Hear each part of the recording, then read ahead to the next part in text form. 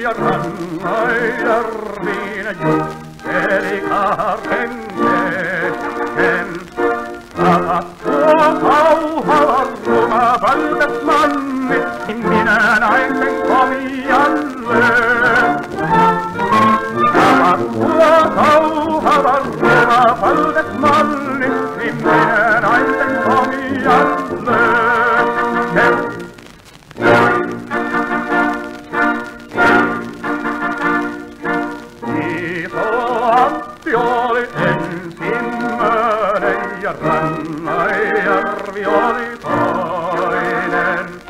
Oppila jakka se kauhavan oli kolmas samanmoinen.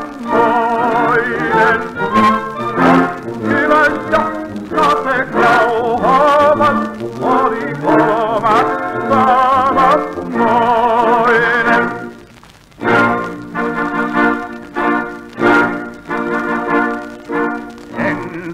Ne portaat härjettiin ja sitten vasta muuri.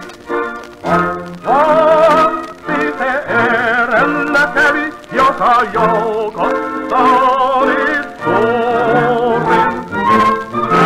Vasti se erellä kävi, joka joukossa